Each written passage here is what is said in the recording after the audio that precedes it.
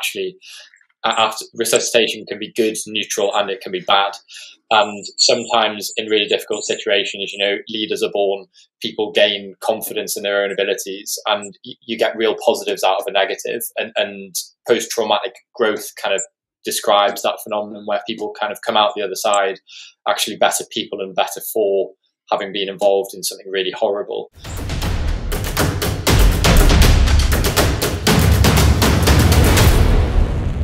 Hello and welcome to the World Extreme Medicine podcast. I'm Dr. Fionn Davis, your host for today. I'm an emergency medicine doctor and expedition doctor. And in this session, we're speaking with Matt Walton, a fellow emergency medicine doctor working as an A&E registrar up in the north of England. Uh, delighted to have you on the podcast, Matt. Welcome. Thank you very much, Fionn. It's an absolute pleasure to be here, and I'm very excited to talk about what we're going to talk about. Absolutely. So I first heard about Matt's involvement with the Resus Council Resuscitation and Wellbeing Guidance um, and Resource when we were working together on one of the WEM courses up in North Wales. Um, and we realised that we had a bit of a mutual interest in this, and I've kept an eye out for when this was getting published because he was eagerly working on it in every spare moment he had when we were on the course. And um, it, the guidance has recently been published earlier this year. So that's the Resus Council resource on resuscitation and well-being for responders. I'm sure you're going to put it much better than I have, Matt. But do you want to give us a little bit of an, of an overview about this, and then maybe a bit of what got you into it? Yeah, of course. Um, so this is the Resus Council Wellbeing Resource for Responders, and it's a resource that's the first of its kind that essentially tries to answer that question of what can we do in order to protect, preserve, and, and help the well-being of responders who, let's face it, go to lots of nasty stuff every day and sometimes get affected by what they do. And it's an amazing thing to have been involved in and, and have got to work on because we've managed to get experts from all across the world who are really the, the top in their field to contribute to this resource. And hopefully it represents the first iteration and the best effort of information that we can give to people to kind of get some consensus on those topics that we've previously found a little bit muddy, like debriefing, for example, and hopefully give us some direction and guidance as to what we can do in the aftermath of some of these difficult events. Yeah, absolutely. I think it's one of those topics that many of us have developed our own sort of way of dealing with things or our way of conducting debriefs or looking after well-being or promoting well-being in our teams, but there's never really been um, a, a, kind of evidence based guidance out there. So this is long awaited and much needed, and hopefully is going to provide some overarching principles on how we should be doing those things in order to look after our people, our teams, and ourselves a little bit better. Um, so, how did you first get involved with this, Matt? What, what, how did your interest start? So, interest started probably about five or six years ago when I was a medical student and I got an opportunity to basically follow a pre hospital care team in an air ambulance and get to see some real cutting edge medicine, which was, I think, Fionn, you're also interested in this. Probably the most exciting thing you can do as a student is to go and ride in a helicopter and watch some really cool people do some really cool stuff and ultimately save lives. Uh, so for me, it was like a dream come true. And I remember meeting a doctor called Mike Christian and a paramedic called Tony, who were both super inspirational. And I got to watch them really perform amazing miracles for people. But on the flip side to that, uh, I learned the hard way that the closer you are to saving lives, the closer you are to witnessing death and, and and seeing some really nasty things. And I remember I got to see my first cardiac arrest. I got to see, you know, hangings, and uh, ultimately, we had one case that was particularly difficult. That was a traumatic cardiac arrest in a child, and it was the first one that I'd ever seen like that. And I remember in the aftermath of that, I kind of experienced flashbacks and intrusive thoughts, and and you know, I'd be in a supermarket and little reminders would would trigger these really quite visceral reactions in me. And I remember thinking that that could have been something that was really isolating and really frightening and really scary because ultimately at medical school and uh, back then there was very little information and very little education on on that sort of thing. But having had a chance to sort of debrief the case and think about what we could have learned and done better I also had the opportunity to ask the doctor, you know, what what do I do now, and what could happen to my brain basically after this event, and they delivered some really simple but profound education, and it was basically, you know, you got a sense that it was built on a lifetime of experience in in this field. And it was, you know, yeah, we all get affected by this. Um, yeah, it, it, can affect your brain. It can make you feel really sad at times. You can also get flashbacks and symptoms similar to, to what we get in PTSD. But it's it's really common, and if you do get this, talk about it with us. It'll, in all likelihood, get better over time. Um, and he also gave me the opportunity to talk. He said, "Well, you know, why don't you give me a text and I'll text you in a little bit, like in a few weeks' time, and we'll just see how we're doing and kind of catch up with each other.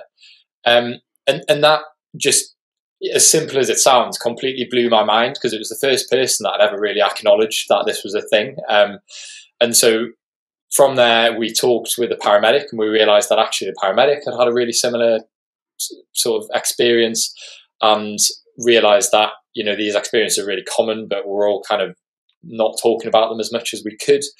Um, and so we kind of made our aim to educate as many people as possible and kind of share that simple education and also get to the bottom of the problem, understand about it, and figure out how we could fix it. Um, and so we set about making a film together, essentially to capture our story and to sort of deliver some of those learning messages. And at the time that was considered a really big risk because it was essentially taking an air ambulance team who is funded by public donations and saying, well, you know, this team's just got really mentally hurt by what they've done. And, and, and the public have funded this. And, and it, is there a chance that the public might decide not to continue donating, like because this stuff wasn't really well known? And in fact, you know, the public have a really good understanding of the military. You know, people go to war, they get PTSD, and they and and and that's a sort of common phenomenon we we understand quite well, but we don't really understand people going to work in as a paramedic on the roadside on Christmas Day, and then coming back and not being able to enjoy Christmas dinner with their family and having a terrible night's sleep and being profoundly affected by what they've seen. And the um, I'll have to get the name right. King's College Military Health Research Group. They did a lot of research on military veterans, essentially estimating the prevalence of PTSD symptoms. And after the Iraq and Afghanistan involvement of the British Army, they estimated it around about six percent. And there's recent studies showing that in acute care services, it's actually about 10% that are using the same kind of tests and studies.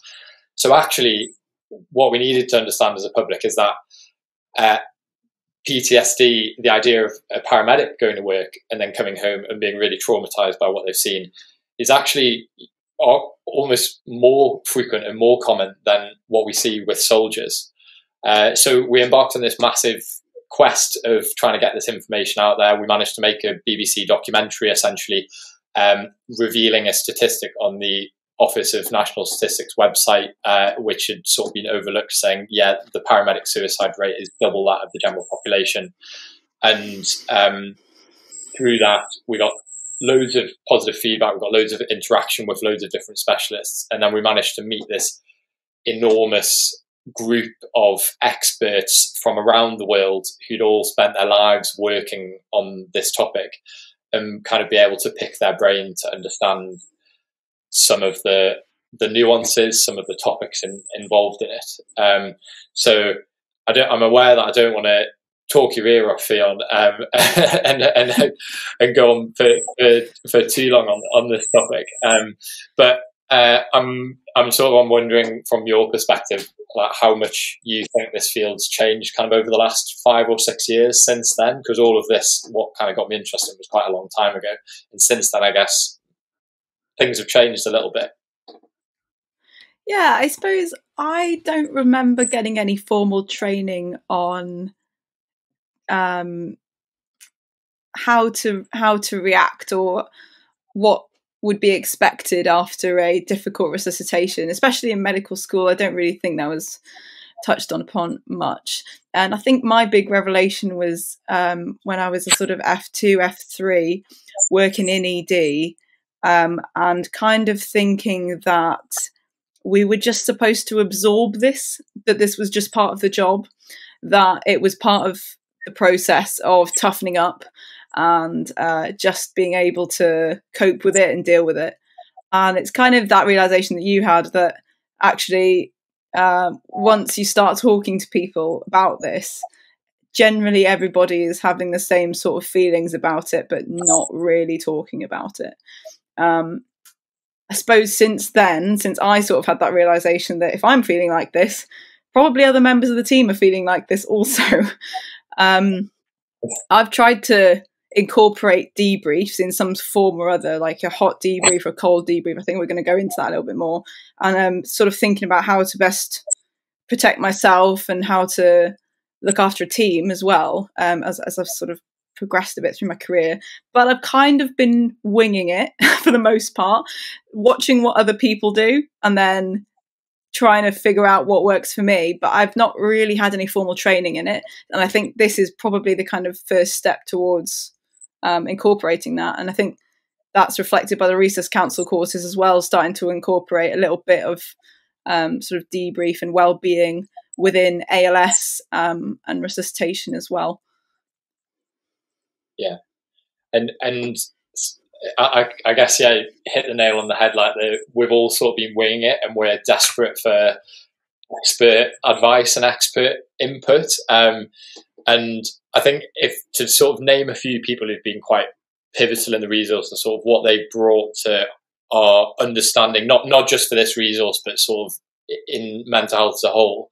Um, so one thing is, well, we we kind of made this assumption that it's you know it's PTSD. So it's like it's it's as I've simplified it there, like you know you've got someone who goes see something nasty and, and gets PTSD, but is that the whole story? Is PTSD the only thing we need to worry about first of all?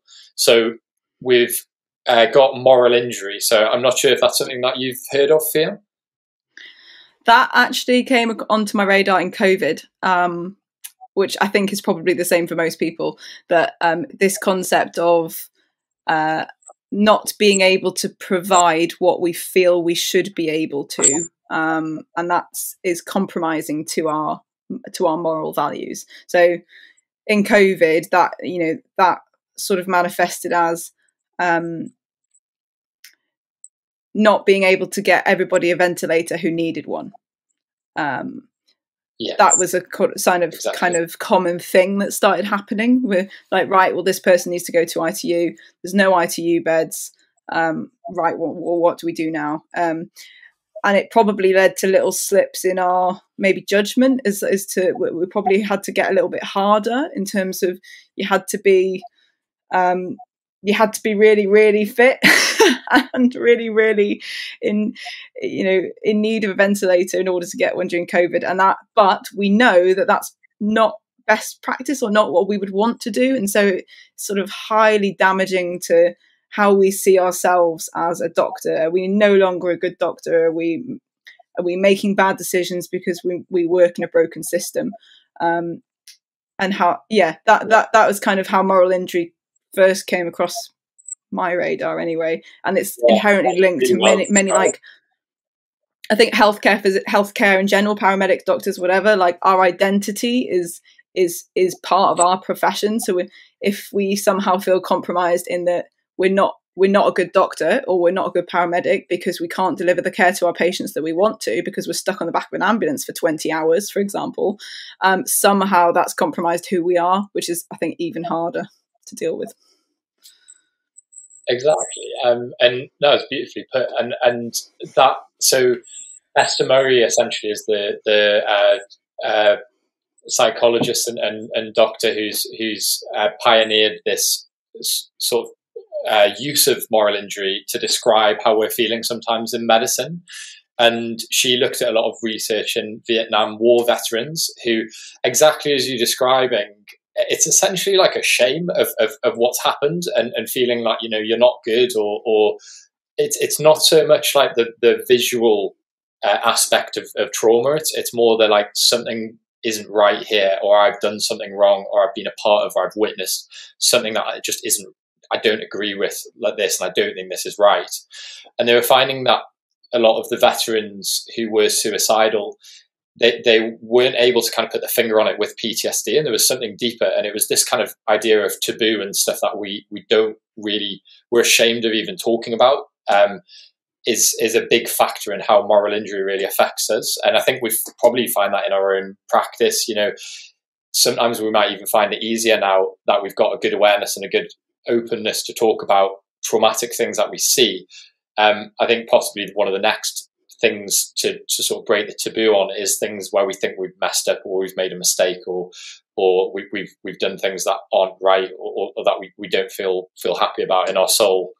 Um, and so Esther Murray kind of really brought that into medicine and sort of uh, she's released a book recently called Borrowed Borrowed Words, which essentially summarizes that idea of it's it's creating words that we can use to, to, to describe how we're feeling in those situations, which is really helpful. Um, so that was one thing as uh, alongside PTSD, and then you've got anxiety, you've got depression, you've got compassion fatigue, you've got burnout. There's lots of ways to describe the negative effects that this can have on us.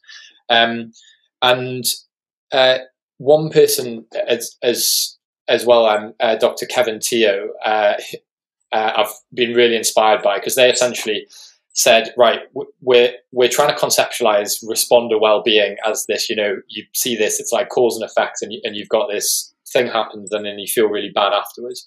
But actually, what if we take a step back in our understanding of responder well-being, and we think, well, that's one thing, but what about everything else that makes us feel upset or, or bad at work? And he essentially said, well, what about the organization and the environment that we're working in? And, and as soon as you say it, it makes total sense. It's like, well, what about the fact that we're working night shifts and we're not getting any, any sleep, all of these system things? What about the resources that we have available? You know, we, we both work in NHS A&Es in 2023 in, in a sort of legitimate national crisis. Um, what what about civility and, and people being nice to you at work and, and, and all those things? Like what about your pay your, your your benefits your resources your sense of value autonomy? All of these other things really come into it. Um, so and, and as well as that you know working through crisis as well you've got professor richard williams who's done loads of stuff on that with uh, someone called verity kemp. Um, and you've got professor neil greenberg who's been a huge part in our understanding of going back to that root of ptsd and what should we be doing with debriefing. And essentially what I'm trying to say is we've been lucky to have so many experts who completely shaped our understanding and really devoted their lives to trying to get the best understanding for us, the responders and the people on the ground, so we can kind of devise uh, some sort of roadmap for what's the best way to help us. And I guess that's where this new resource comes into it. It's built on years of experience from everyone. And hopefully, for the first time, it creates some consensus with the best organization to do that with, which is the Resus Council, who are sort of the, the, the masters of creating expert world leading consensus on what's the best thing to do in this situation um, and putting it together. And there we have, after quite a few years, the Resuscitation Council Wellbeing Resource. A short history to it. yeah. Well, I think it's important to understand the background with, and how much work and how much expert advice and input has gone into this guidance. Because um, when you do look through the resource, there is some really valuable things in there. And I think should we go through some of the main sort of points of the of the resource and then talk through exactly um, how that can be applied in practice, I guess.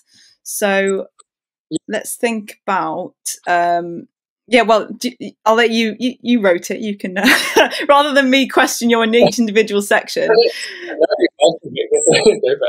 so, um, so essentially, the, the, structure of the resource. If, we, if I'll give a brief summary of it, and then we can kind of go in bit by bit, and then we can talk about. You know, I'm sure uh, as, as we've had a bit of pre-discussion and we've got a lot of uh, cases that we can bring in and i think this is going to be a full-on therapy session for me and Fionn as we talk about all of the uh, things that have happened to us in our practice.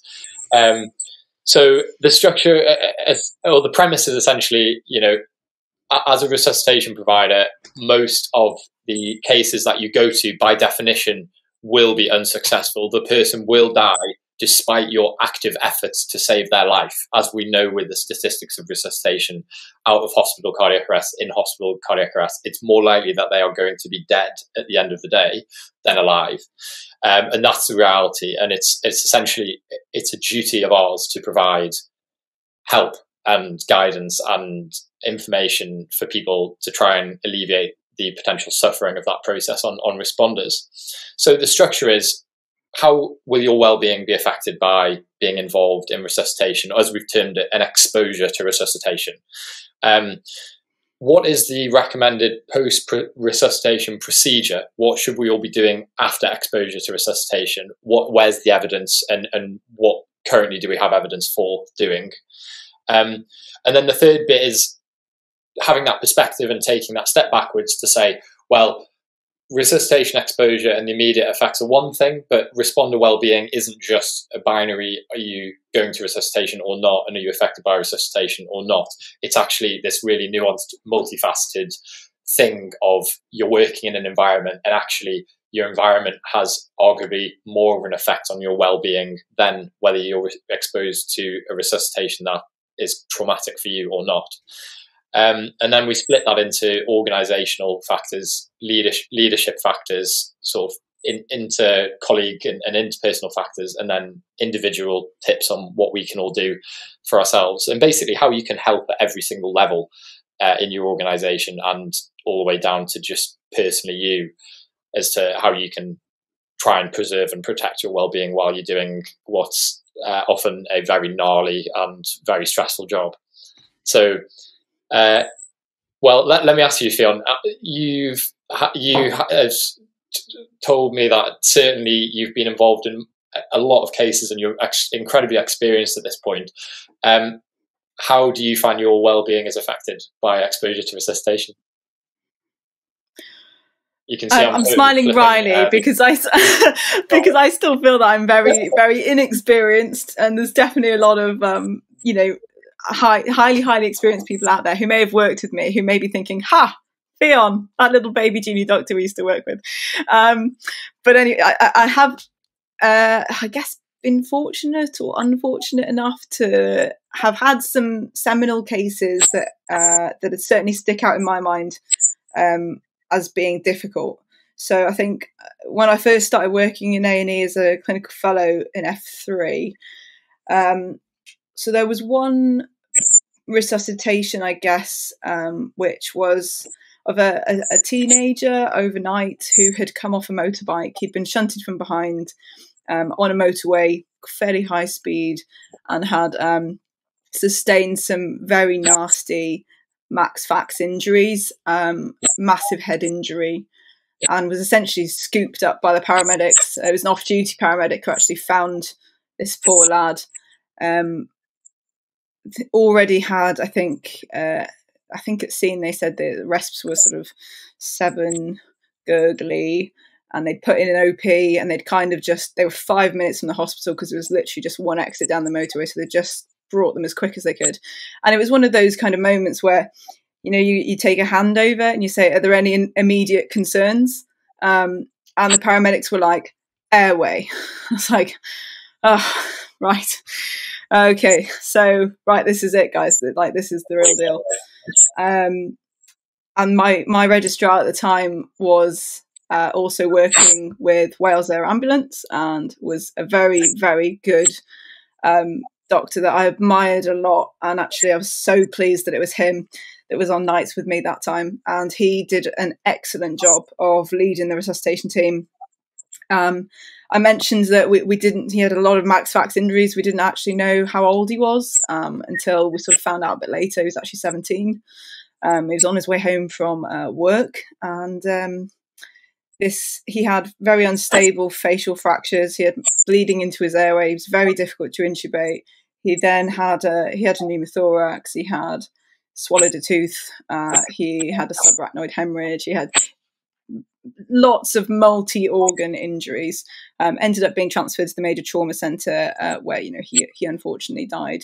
So my main learnings from this was um, a that feeling of like right th- this is it this is what we train for this is the moment that all that training is going to come in, into into practice um, and how the team actually felt afterwards was fairly positive in that we felt we'd done a good job. We felt we'd resuscitated him well. We'd had really good leadership from the registrar, um, and we felt we'd done all we could. and there was a clear sort of debrief afterwards on um, this is what happened, ABC, we did this, this is why. Um, this was hard. Some people are going to feel affected by this. Um, and then I think he said something like, you know, like come and talk to me if you if you need to, sort of thing. Um, so for me, that was right. I want to be this guy this guy, he has made all the difference to how this team feels about this resuscitation. The way he's ran it, the way you know. So that that was my main takeaway, and probably a bit of a major inspiration for me. Was I was completely flapping, very junior, didn't know what to do, um, and yeah, felt felt very helpless and lost at that point. And I'm so glad that he was there to help sort of guide me through it. And now I want to be that person, if I can, um, that that a smashes the trauma resus and b um, really helps guide my juniors as well through it. Yeah, definitely. And well, thanks so, so much for sharing that because uh, that definitely doesn't sound like an easy case to be involved in. In fact, it sounds like probably one of the worst cases imaginable to be faced with.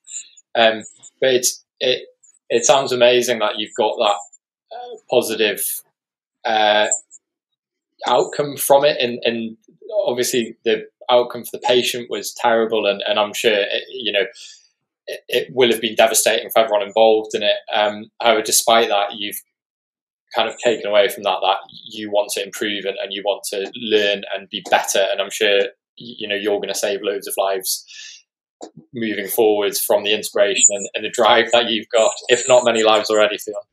Um, and um, and that's so that's I suppose something called post traumatic growth. So and it's an important thing to mention that uh, you know, the assumption is that you'll go to resuscitations and something you'll feel ter- terrible afterwards and it'll affect you profoundly in a negative way for the rest of your life. But actually, after resuscitation can be good, neutral, and it can be bad. And sometimes in really difficult situations, you know, leaders are born, people gain confidence in their own abilities, and you get real positives out of a negative. And, and post traumatic growth kind of describes that phenomenon where people kind of come out the other side actually better people and better for having been involved in something really horrible. Um, so I guess the nutshell and, and, the learning from that, which is really helpful from that case, is that it's not all bad.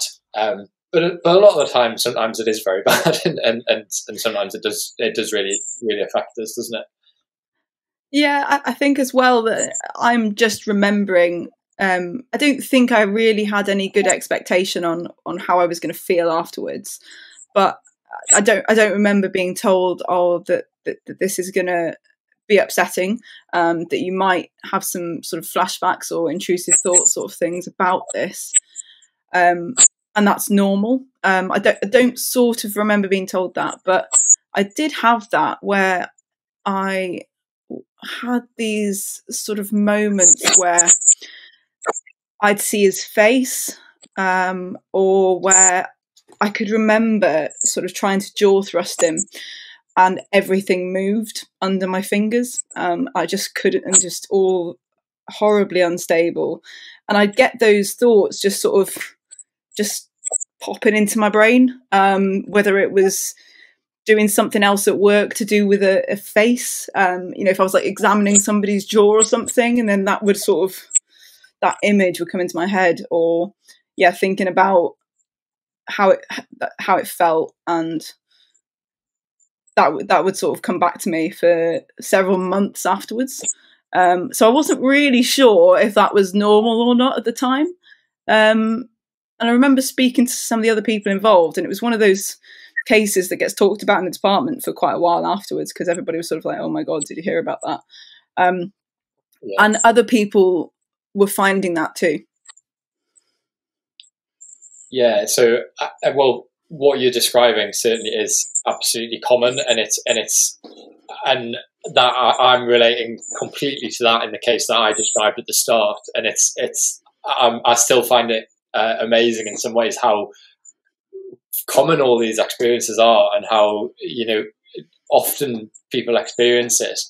But as you say, you, you don't know whether that's normal or not because because historically it's not really been talked about and we're not 100% sure what is normal and what's not um so i guess that goes on to, to, to the to the next part of the resource quite nicely is yeah, w- what is normal to feel afterwards. Um, so in effect, a lot of the the numbers and the cut-offs we put on things are going to be arbitrary. That there's you know we we say roughly you know if symptoms persist after about a month then it's worth seeking support and that doesn't necessarily mean that it's abnormal or not normal it's just a point at which it would be worth letting someone else know that you're still experiencing these symptoms because after after that point, I suppose it, you could fairly say it's had a significant effect on you if, if you if you're experiencing them that like that much and, and persistently. Um, for me, I experienced that, uh, and and again, the, the child that uh, particularly disturbed me had also had horrific facial injuries. Um, and, and it's and I think there's something especial about the face that just comes back to, to haunt you um, in a way like no other bodily injury will. Um, so so you know it's it's normal to think about these things afterwards definitely. Um, and i guess the question is you know wh- when do we start to to flag up that as a concern? And i think at any point after a month we'd recommend that you talk to someone about that. Well you know it doesn't have to be you know your official supervisor or your gp just to, just talking to friends and family members and other colleagues just so they're kind of aware of what you're going through. And ideally the gold standard would be letting someone ideally someone designated at your hospital kind of know that you know that that's still something that's ongoing. So they can embark on this process called active monitoring which is essentially where we're just like yeah we're aware that's happening. And we're going to decide what to do either whether that's escalating it if you're really really struggling and it's interfering with your day-to-day life and we think we need to do something more or actually saying you know what? Like yeah you're experiencing these if you're okay with it and you're still managing and, and, you're kind of happy not to not to be intervened in at the moment, then we're happy with that too, and we'll kind of just monitor you and just keep an eye on you and just check that these symptoms slowly start to resolve and, and, and get back to normal over time. Um, so that's essentially kind of where we're at with what's um, normal, what's not normal. It's a bit of a question mark. Everyone's going to have very different reactions.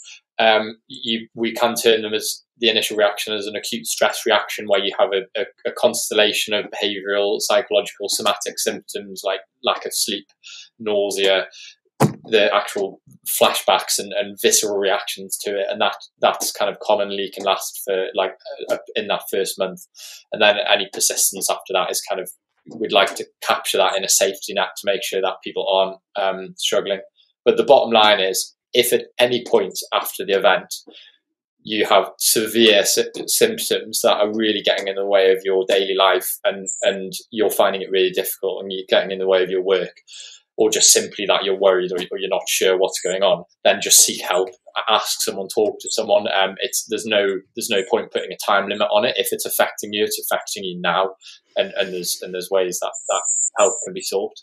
Um, yeah, and, I've, I've heard stories and, about people uh, sort of years after an event don't realize it, but then years after, you know, sort of um, developing yeah.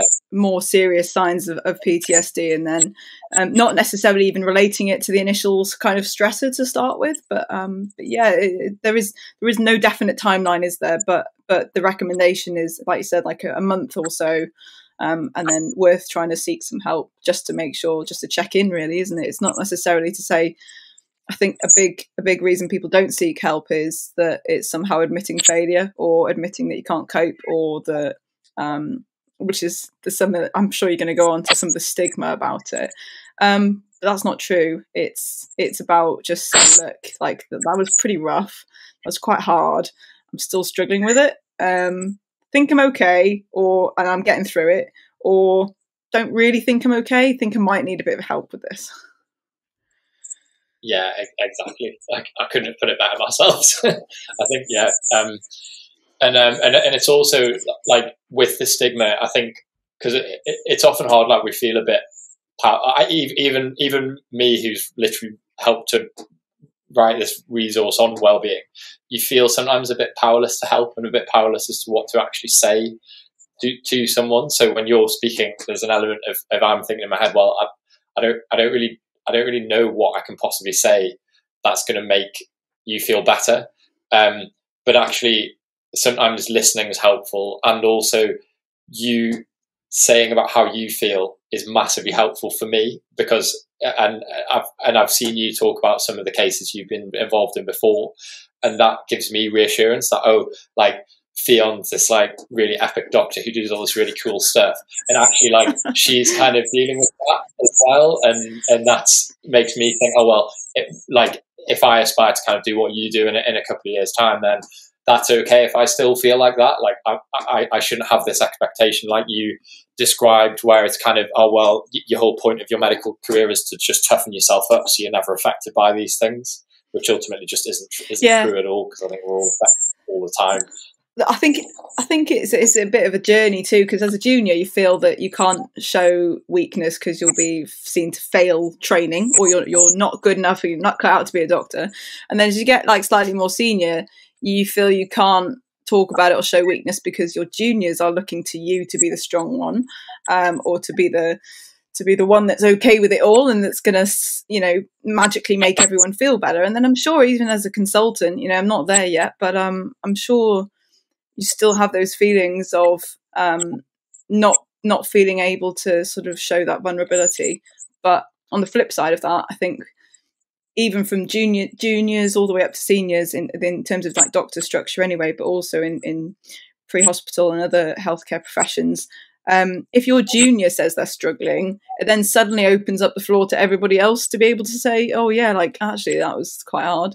Um, and if you've got a good a good senior to support you, they should they should be understanding. They should want to yeah want to understand how you're feeling, rather than being like, oh well, that's uh that's that's tough for you. um, let's just crack on with the rest of the shifts.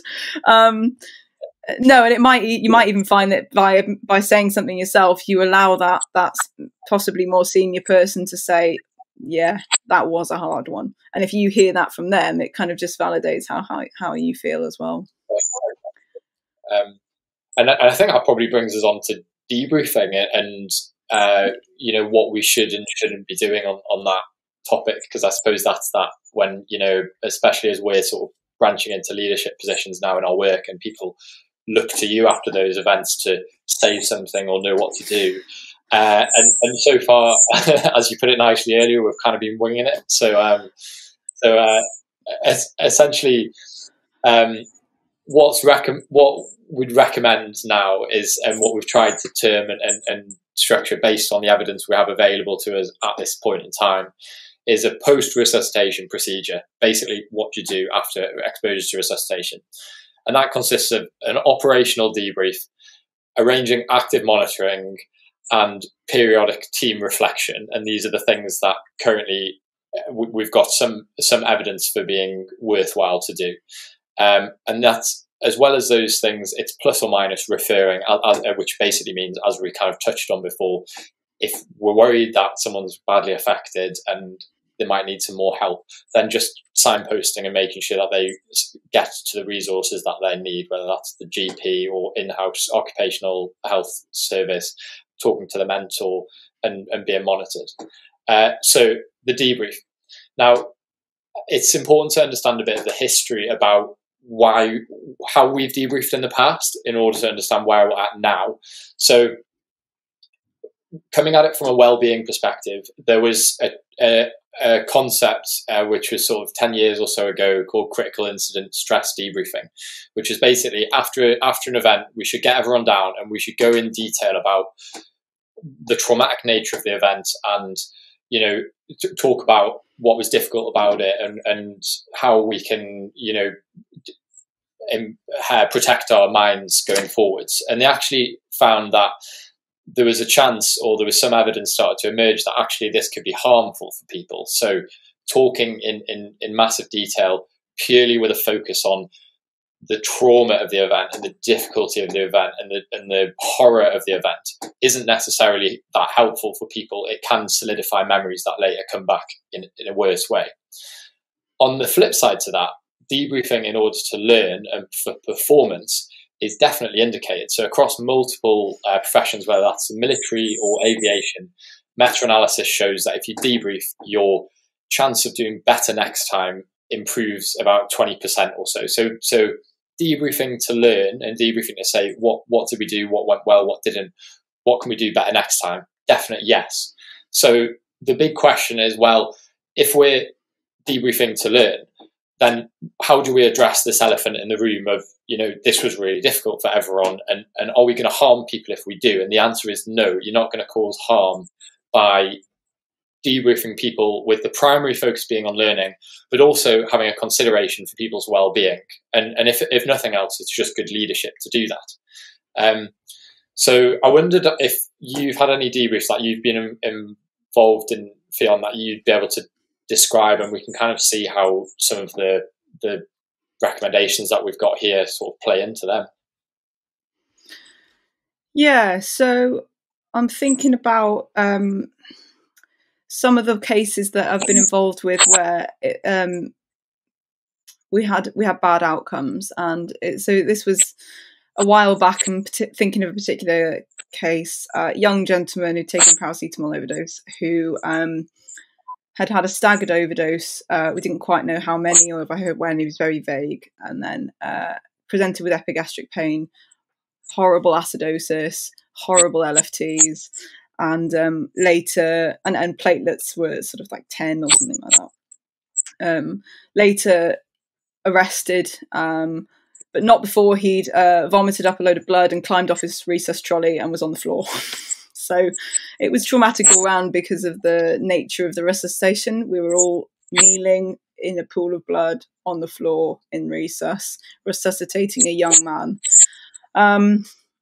and there was no formal debrief after uh, after the event.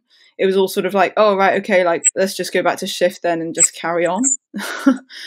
um, which was now you look back on it, like this is completely ridiculous to expect that we could just wash the blood off and crack on uh, back to Mrs. Mrs. Doris in the waiting room. um, but that was that was what happened. Pretty much the whole team kind of dissipated, and we are like, oh right, okay, you know, um, unfortunate outcome. Uh, let's get the family in, and then we'll, uh, yeah, then we'll just carry on with our shift, which um, left a lot of unanswered questions uh, about how the resuscitation had been handled. Um, had we done everything we could have? Is there anything we could have done differently to that that might have changed the outcome? You know, probably not. Uh, but but those questions were sort of whirling around in my head. And then we had um, this was a coroner's referral and this was a serious incident review within the hospital as well. Um, and that meant that we had I had to write a statement. I had to go through the events in quite a lot of detail, um, and I had to go through the whole psychological kind of how I felt at every point of that resuscitation and afterwards, um, which was was definitely not helpful. Um, instead of feeling that I could kind of park it and move on, um, it meant that I had to keep reliving it and going through it. Um, I mean, that's probably a whole separate topic on like how our, how our processes of review and, and coroners etc are potentially uh, yeah. not good for for providers or for healthcare physicians but but it does emphasize the point that potentially dissecting cases in detail and going through the trauma. It, sounds it sounds kind of I don't know cliche to say so the trauma of it, but it is fairly traumatic, and it's to say right to, to to debrief it in such a way that says okay so tell me how that made you feel. Um, did you how why were you upset by that? What what was upsetting? And why was that difficult? And it's like okay well let's dig into these really deep difficult topics um, again and again and again, uh, which wasn't helpful. um, yes, so I, I, think certainly it's a, a, a, topic for another time to think about our processes because I, I agree. Certainly, it, it, I've luckily never been in that position yet, but I'm sure I will be where you're constantly having to go through something that actually you just don't want to don't want to be faced with. So um, it's difficult the divide when you know you have a legal requirements to go through something again. But I think the first thing to say about debriefing is it, um, it it's it's kind of an opt out. So the premise being that the the focus is is how can we save someone's life better next time, and for that reason, as clinicians, we should all want to do a debrief for that reason. But we we also don't want to force people to be there who are actually like, you know what, the last thing I want to do right now is talk about this case. So the first thing to say is that people can opt out of a debrief. Um, if they don't want to be there, that's fine, but they should always be checked upon later if, if they if they don't want to be in it. And and then debriefing generally follows a model of gather, analyze, summarize. Most of the literature is sort of like that sort of premise. And for the Resus Council resource, we've used uh, the Stop Five model, which which uh, was developed in NHS Lothian by Craig Walker, and it's it's reasonably prolifically used. And it's very simple more than anything. It's it's easy to do, um, and and I did one uh, for uh, one of the arrests that I'd led on the weekend on my night shift, and it's basically get everyone together for five minutes. Um, you you grab the team you all get face to face with each other, introduce each other, and you say, right, we're going to stop for five minutes. We're going to do uh, things that went well, opportunities to improve, and then we're going to plan for the next actions that we need to do. Um, and it's as simple as that. We sort of talked about, like, you know, what did we do well? What can we enforce in our practice and, and keep doing? What things can we do? Bad, have we done badly? And it sounds like in that case, that would have been really helpful for you to have had the opportunity if someone else was leading that to then say, oh, well, actually, I, I thought we, we could have got them on a table or something and, and, we could have maybe done that and that would have like in future maybe we, we would do that and everyone can say yeah actually that's really good um, and then possibly to the point when we go oh well we, we've you know we've used this bit of kit or we've made uh, this mistake here that actually other people could learn about and we think we should email and, and circulate this learning round to the rest of the department. So that's essentially what, what a debrief is. And the the recording of it is something that again it's a new bridge to cross. We have to sort of have an opinion on how it should be recorded. And we've suggested that um, the whole point of a debrief is that people can speak very openly and learn. So that's the priority is to not create a barrier to that and we thought if there's undue and, and over documentation of that. If if you're saying I felt like I could have done this a lot better, and someone's sitting there writing that down, going, all right, well this will be good in coroner's court when we uh, absolutely nail you for admitting to that thing that you did wrong. That's not going to encourage people to do a good a good debrief. So it's really it's recording who was there, recording a, a bare minimum of, of information about the content of the debrief, with the exception of um, any sort of critical issues that need to be reported for safety reasons, things that we would do an error report for, those types of things obviously still need to be reported in, in the usual way. And that's kind of the current best suggestion that we can come up with as to what should be recorded in a debrief. And then it kind of comes on to the, well, the elephant in the room is, is the psychological side of it and, and how can we use this as an opportunity to best support the people that we have?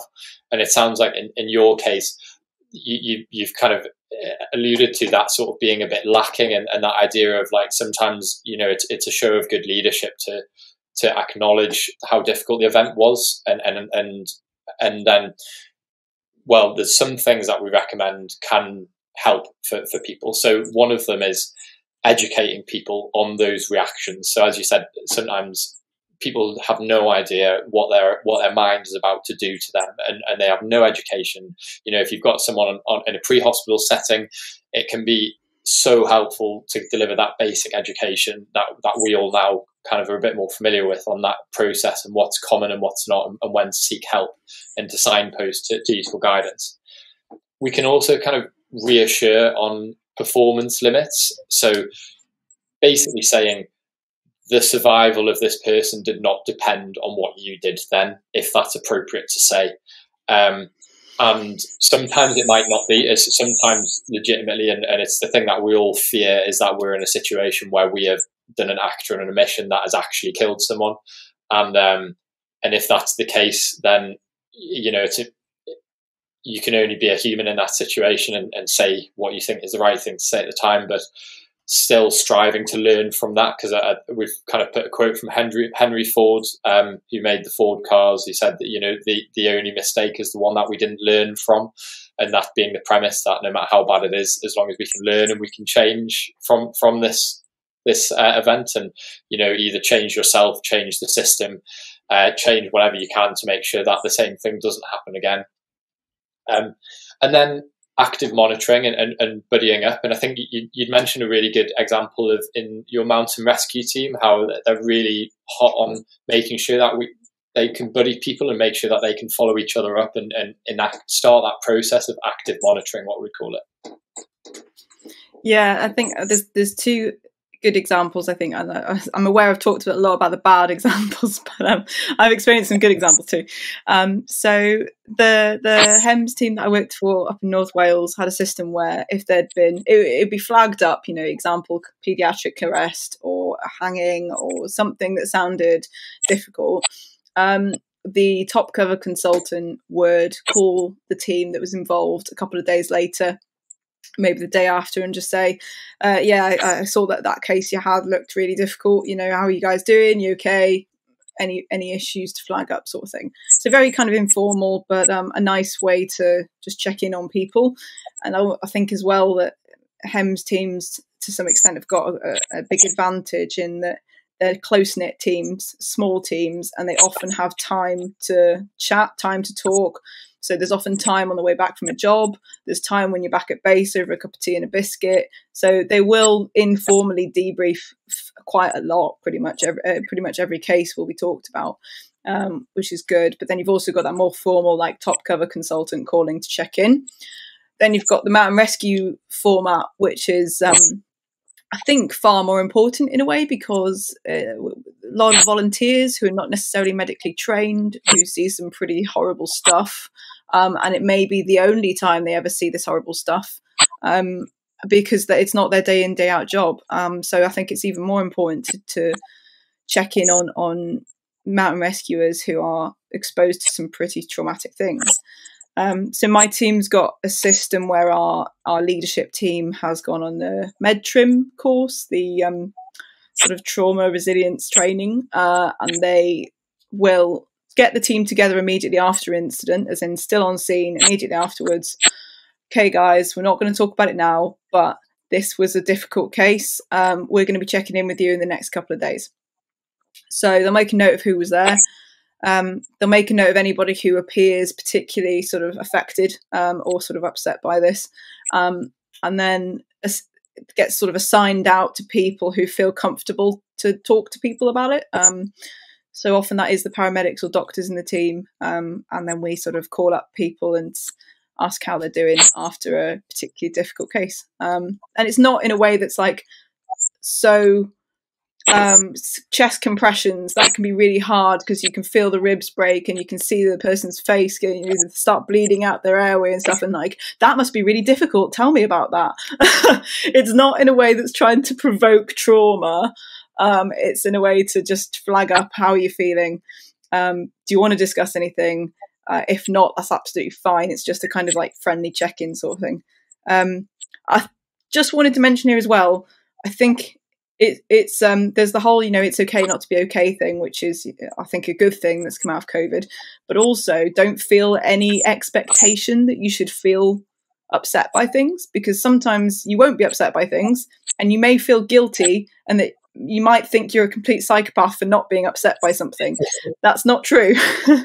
that's it. That's fine. You know, there is no right way to react to things, um, and some people will be you know maybe completely traumatized by something that you're completely okay with um, and that doesn't make your reaction you know any less sort of normal um, there is no normal for these things that's that's a fantastic thing to say and, and we also we have no way to predict currently who will react in what way or who will not and why and there's also no way to uh, pre-screen people because they did that a lot in the military as well, being basically like, oh, can we weed out the weak ones who are all going to cry after these traumas and stuff?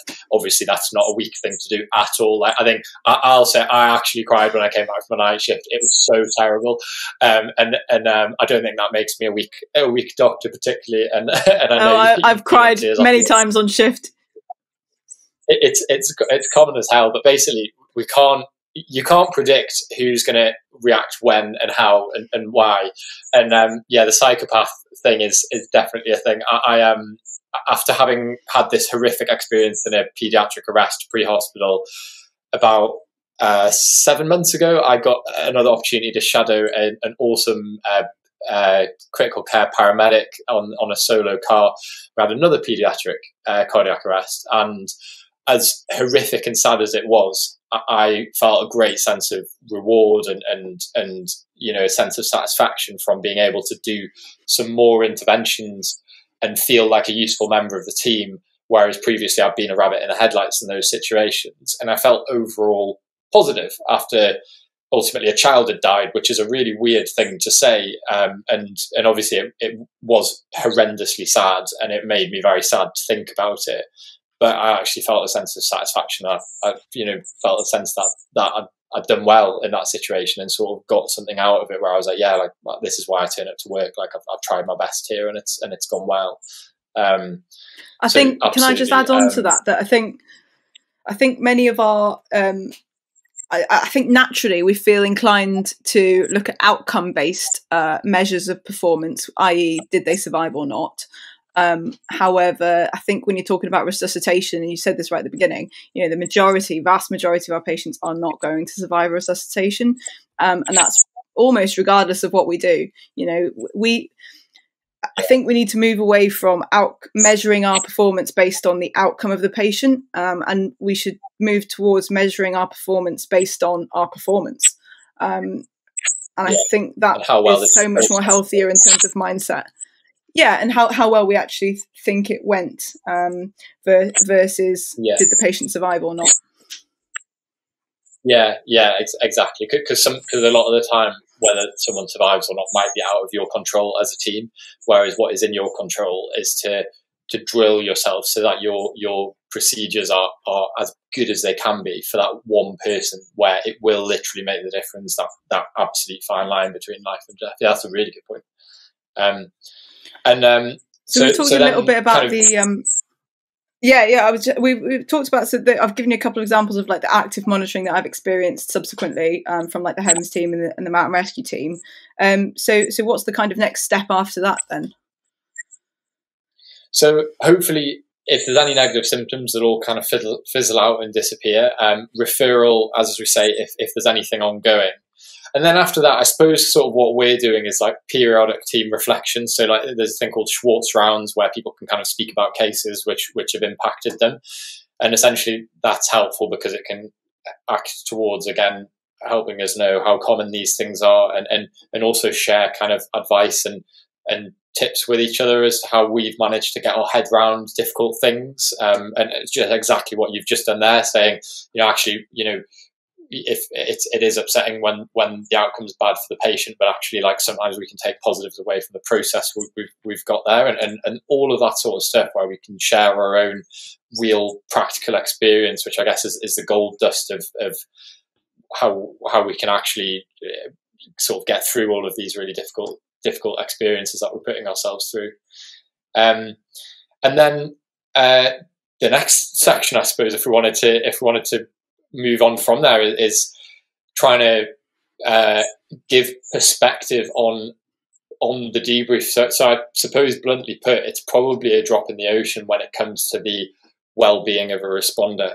Um, and in that sense, I suppose don't get too too um, upset or, or don't feel too much pressure to to be able to fix anything in a debrief because because that's not really the purpose of a debrief and it's probably unlikely to to help. All you can really do is capture people in a safety net and, and, and just do the human thing to try and offer some supportive words. Um, and actually there's all of these other things that have a huge impact. So the the organization i think without going into it too much there's there's primary stressors which are the things that we ideally want to target. So that's like your shift patterns, your exposure to resuscitation, um, like your level of autonomy, support in the workplace, all of that sort of stuff. The thing, the things that kind of stress us out on a day to day basis, like you know, have, have you got tea making facilities? All of these things are your kind of primary stresses, and that's in the context of your psychosocial uh, home environment. All of that stuff, all combined, and that they're the things to, to for the organization the, the caring and, and, good leading organization to target and say actually can can we make your life easier at work by helping get rid of some of this stress that the systems are putting on you and then if that is been maxed out and you've done everything you can do. So, for example, in the context of resuscitation, there's only a limit to how much you can avoid being exposed to that stressor. Night shifts, there's only a limit to, to how much you can stop people doing night shifts when you want a 24 hour service. Then you move on to, to your uh, secondary things, which is the stressor is there. How do we cope with and improve our ability to cope with that stressor? So that's your kind of resilience training um, your trim training, debriefing, all that sort of stuff, which um, it allows people the opportunity to, to appraise how how they are responding to stress and if they can do anything differently. And then, of course, you've got your tertiary support, which is you know, if, if people are really needing help and they, they need a, a professional who, who is experienced at, at, helping people through difficulties with their mental health, that's the point when, when they go in. And of course, every organization is going to need to have that sort of contingency and have, have that because there will be a lot of us who need that support at one point or another in our, in our lives. So that needs to, to be there too. Um, and then think about what we can do as, as leaders. Um, the number one thing is, even though it sounds a bit trite, is just being a good leader. So the, the, the most reassuring thing for followers to protect their mental health is that their leader is doing a good job at, at, at what they're meant to be doing. So th- there's no there's no use in kind of being terrible and dangerous and haphazard at your day job, but but being brilliant at bringing everyone cups of tea and donuts and stuff to, to, to help their mental health. Everyone's going to get quite stressed out at the, at the fact that like you, you're not focusing 100% on your main job. So actually, that's that's the best thing to, to put energy into. If in doubt, just just do your main job and do your primary role as a leader really well, and that's probably the best thing you can do.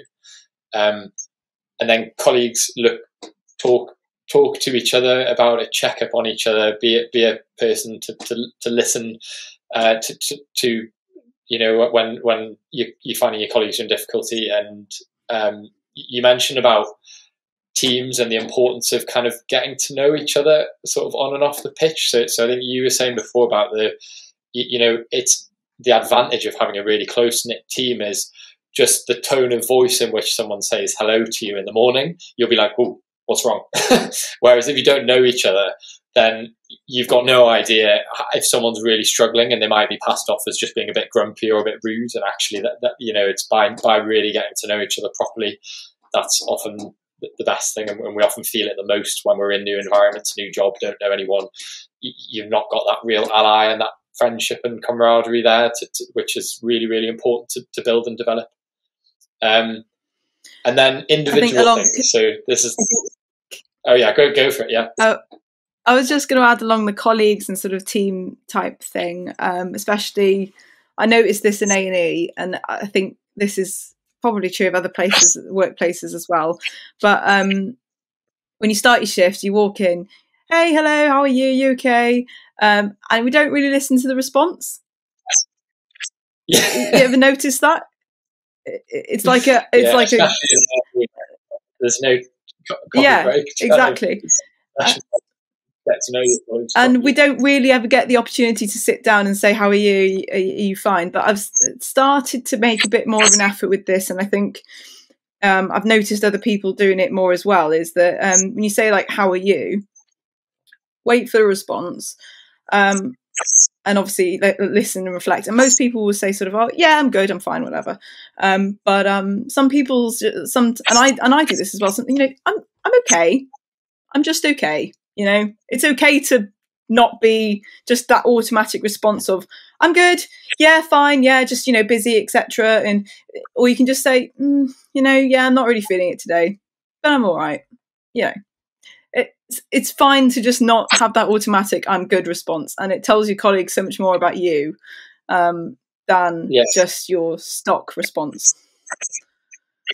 Yeah, that's a good that's a good shout. So actually saying maybe we should be a bit more in, in our own, as well as being good at asking that question, waiting for other people, and actually listening to what they've got to say. Actually, in your own response, not just being like, "Yep, all good, totally fine," yeah. despite all the horrific yeah. things that happened in the last like shift and, and, all that sort of stuff. Yeah, um, yeah, yeah, exactly. yeah. And I find that we, we yeah, you get a sense that we're kind of losing that. I guess what used to be in the old like firm structures in hospitals and that like canteen culture, and, and especially when you've got shift workers, it's it's so difficult to have that continuity and and so it's it's things like designing rotas so that you can like fix teams together who pass through a rota system so that they actually all can leave and you know all plan to get breakfast together at the same time and creating like training sessions which are like paid for and and put into the timetable so that people can actually go face to face at the same time all every week so that um, they actually get the opportunity to have that sort of like off pitch bonding which is so important isn't it? Um, yeah, and, and often like yeah, as you say in A and E, especially you don't often get that. Um, it was yeah. the especially in A and E, you walk in, it's a fourteen hour wait. There's like hundreds of patients in your department, and they're all dying and they're all sick, and you're just like, right, I've just got to get in there and just start treating patients and seeing them. Um, and I'm sure it's the same for you know our paramedic colleagues who come on shift, and there's you know a stack of calls waiting to be answered, etc. Um, but I've, I've started making more of an effort to sit down and chat which sounds ridiculous. But you sit down, you're like, hey, how was your weekend? What did you get up to? Oh, your son was playing football, you know, oh, 5 0, they got absolutely smashed. You know, just having a little chat with your colleagues. And, you know, I found out one of my colleagues is an ex jockey and he used to race horses for a living.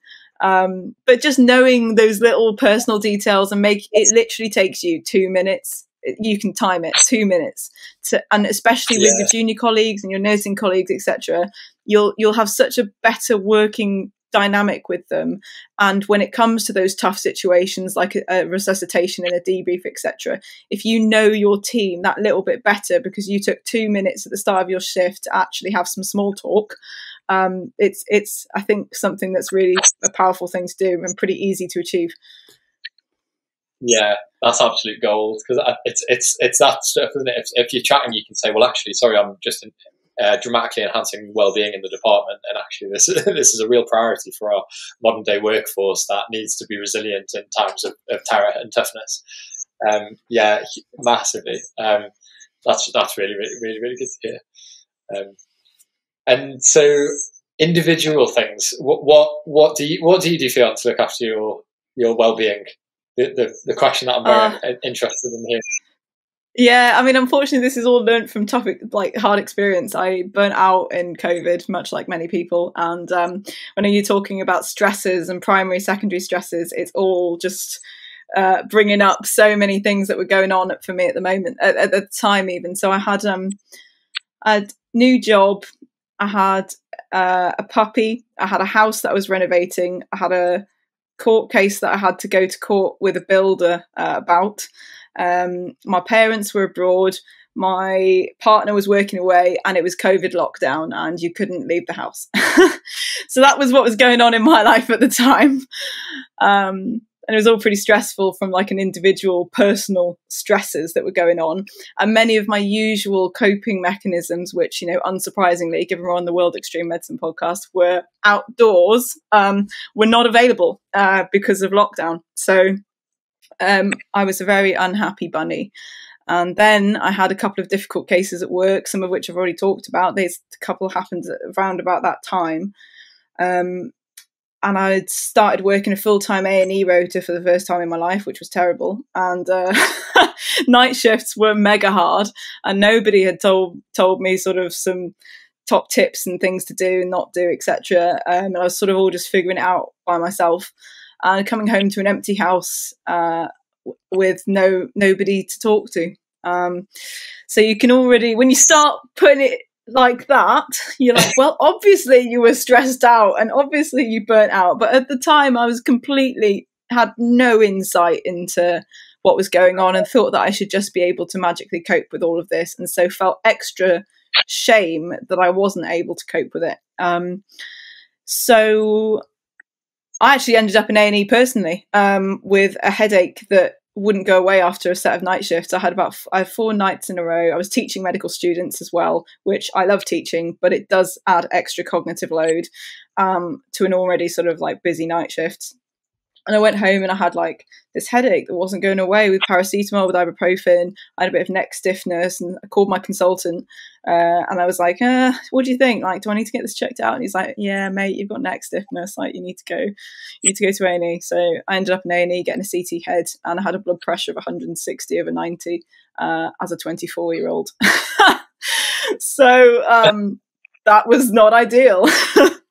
um, so yeah, probably a bit of a combination of blood pressure and tension and fatigue and lack of sleep uh, had had culminated in a physical presentation of stress. Um, yeah. So from then on, I had to start take. that, was the only that was the only thing that you stop when eventually your actual body like physically broke down, so that you couldn't even continue yeah and unfortunately that's the same for a lot of people you know? You get ill and that's what forces you to stop rather than actually you know recognizing the warning signs which i think i'm getting better at now. I certainly haven't ended up having getting another ct head so that's good. Um, I, uh, I then had to start taking some of the coping mechanisms seriously. Um, so that was things like drinking enough water, not trying to have a social life whilst on night shifts, um, making sure to get some exercise in, whatever it was, if it was walking outside, if it was doing a bit of yoga, um, and maintaining a bit of a routine, not eating like crap, uh, because that's so easy to do on nights. You just pile in the crisps and the chocolate, um, and then and then you get fat, and then you feel worse. so I actually said, right, let's try and swap some of that out for some fruit and some water, etc. Make the yeah. sensible choices. Let's call friends every now and then. Let's speak to family. Let's get them in the loop and sort of keep the social network there so that it's there if you need it. Um, and I spoke to my my consultant about my rota to see if there was anything we could do about it to make it a little bit more friendly. Um, and I spoke to some of my colleagues about night shifts and how they manage and if they have any tips or anything like that. And I started prioritizing my sleep above everything else. Um, and yeah, stopped trying to do so much all the time and started being a little bit kinder to myself uh, and not having such big expectations of myself. That's awesome. I don't think I need to say anything else. that's, that's such a good summary of, uh, of, of, of, how to look after yourself. Um, I think people will learn more from that than, than anything. Well, I think I, I, I essentially. It's what I always say to, to my uh, my sister, who actually is always uh, she she she's a civil servant. So anybody who works in the UK knows that you know her job is not easy at the moment. but she's um she I'm, I'm always saying to her like be more selfish um, which sounds yeah. ridiculous, but it's my little tagline for looking after yourself and putting yourself first, um, not other people, not the department, not your colleagues, not your friends or family. Um, sometimes you got to cancel that dinner because you just can't face leaving the house and you haven't got the energy. So, I'd be really bad at like making plans and then being like, oh, well, I can't let my friends down. So I'm going to have to follow through on this, even though I'm so tired. I can't, you know, I'm just going to have to get on with it and do it. And I would do that, but I would do that for various different things over a period of months. And then it builds up to a point where you, you can't cope with it anymore. So, but you need to be okay with saying, actually, no, really sorry, mate, I'm not going to be able to make tonight because I'm, I just can't, uh, I haven't got the energy. Um, so putting yourself first and prioritizing yourself. That means your sleep. Um, that means your time, and it's really hard in A and E where we do it. We, we do the job to help others, and so we are used to putting other people before us. It means in A and E, it means going for a wee. It means actually drinking water on shift.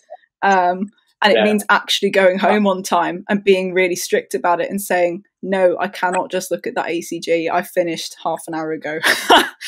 Um, yeah so so be, being more selfish with your time and your resources. I, I had quite a chilling comment from a patient who um, I we'd seen and they'd had weight loss and and uh, and basically it, it, looked like they had developed a cancer at, like in their fifties, a relatively quite frighteningly young age, and um, and they also maybe had an infection, so they needed some antibiotics. And I was on it was say a thirteen hour shift, and, and I, it was what my second shift leading the A and E department, and I, I tried to be good and let everyone else go for breaks, but I hadn't done that myself. And it, and I was like, oh, how on earth do you take a break here when it, if you basically all of medicine is deciding if you eat your sandwich, is someone going to die? And in my head, I was like, is uh, it, when I take this break, this person's not going to get their antibiotics for another like half an hour, and that could really make a difference. So I went to, to this patient. I, I, I told I told them I was like, oh, like you know, I'm I'm really sorry. Like it's a five hour wait, but I've, I've, if it helps, I've, I've not taken, I've, I've not taken my break yet because I really want to see you. And they were like, what are you doing? Not taking your break? If you keep doing that, you're going to end up like me. And they're, they're totally right because you, you'll end up with, you know, early cancer from the, which is proven now that that stress essentially causes cancer and, and all that stuff. And I was like, wow, that's a, that's a great, uh, dressing down by by a patient saying you know like don't don't do this to yourself because it's actually like you know when when you're 50 what are you going to regret when you've you know if you're lucky enough to have a family and you've got people you love and you want to keep living and, and your life ends up being cut short because you've basically wrecked your body doing all of this stuff yeah, and absolutely. It seems like little things every day. You know, I'll just stay a bit longer, I'll just work a bit harder, I'll just sleep a bit less, I'll just do a bit more, do a bit more in my spare time, I'll take my break a bit later, or maybe I'll only have 20 minutes instead of 30. But that adds up over a career to become completely un- unsustainable. Yeah, yeah, absolutely. Yeah. And I think the people, the, the, there's hopefully this this resource as well will kind of allow that to become a bit clearer for employers and, and, and, and that expectation on what we can put our healthcare staff through when we say, actually, you know, there is an element that this is a genuine occupational hazard that we should take as seriously as exposure to handling radiation every day if you work in a nuclear power plant and all, all those sorts of things like you know this is a, health risk and and, and actually, could you imagine you know, if we had little uh, if we had little stress counters instead of yeah, yes. yeah. Instead of radiation counters, we'd have little stress counters. That would be great. I would love that. It would be like, no, no, my stress count is ninety nine out of hundred. I need to take my break. Goodbye. but yes, um, this resource hopefully will be very powerful to show employers that this is how you support your workforce and how you keep them in work rather than them having to leave through burnout or ill health, etc. Exactly, and I, and I think that's that's the thing. You, you want to, if you're an employee, you want to pay employees who are going to enjoy their job, not burn out, and actually turn up when you're paying them to turn up. And, and that's not going to happen if, if you're running people into the ground and, and we end up in the situation that we're seeing now where there's there's a lot of holes and there's not that many people that can fill all of those holes now anymore because because it's it's too much. Um, so yeah, I'm very I'm hopeful that this if it hopefully with your help Fionn on this uh, the World Extreme Medicine podcast if it spreads far and wide and people can see it and they can use this to to make tangible change in their organisations into their personal life and with the teams that they're they're working in to hopefully care for ourselves and then we can provide gold standard care to our patients. Oh, fantastic, Matt! And um, I've that I would highly recommend having a read of the resource. Um, and Matt's going to tell us where we can find it in a minute. And um, also, the video is absolutely excellent that Matt's made uh, with uh, the HEMS team that he was attached to. Um, it's a really good resource. So even if you've only got five minutes or um, when you're next taking your break, when you should do on your shift, um, have a look at it, and it's it it will um, it will change the way you think about well-being and debrief. I guarantee. Um, and where can we find it, Matt?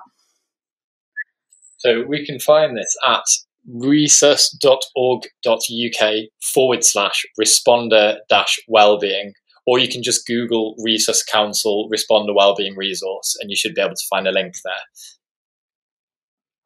Fantastic. Well, I think that's a great place to finish. And thank you so much for your time. Thank you for creating this fantastic resource. And I hope that, as you say, it starts to influence um, the well-being of our of our responders and hopefully um, keep us happy and healthy and in work until we're 100.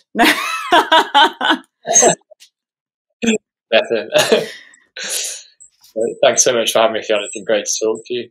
Thanks for listening to the episode please feel free to rate, review, and subscribe on whichever platform you're listening to.